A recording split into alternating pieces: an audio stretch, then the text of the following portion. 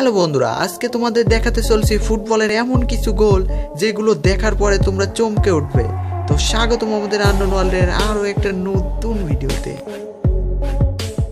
আর এটা হলো দুনিয়ার সবচেয়ে আনলাকি গোলকিপার যে বিচারা সঠিক পজিশনে থাকা সত্ত্বেও বল ধরতে পারেনি। আর এই গোলটা ইন্টারনেটে খুবই ভাইরাল হয়েছে, যেটা লোকজন অনেক পছন্দও করেছে।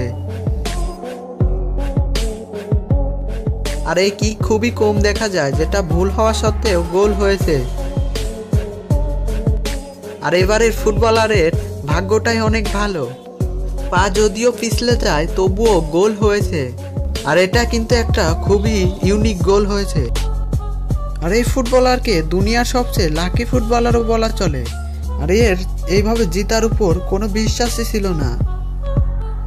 এরকম গোল কিন্তু খুবই কমই দেখা যায়। আর এই গোলগুলো দেখার পরে মনে হবে এর ভাগ্যগুলো এত ভালো কীভাবে হতে পারে। আর এটা বলা চলে, দুনিয়ার সবচেয়ে চালাক এবং বুদ্ধিমান ফুটবলার।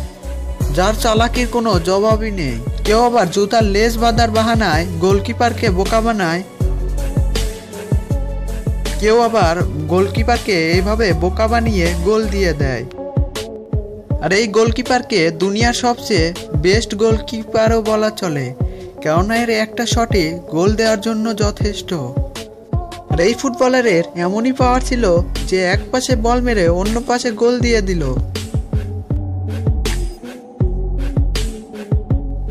হাওয়াতে বল মেরে ঘুরিয়ে গোল দেওয়া, এটা কিন্তু একটা ইউনিক গোলই হয়ে থাকে।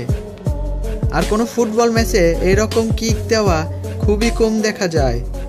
আর এই ফুটবলারকে ফুটবলের মাস্টারও বলা চলে। কেননা বন্ধুরা, এখানে দেখো কীভাবে বল মেরে হাওয়াতেই নতুন দিশায় গোল দিয়ে দিল।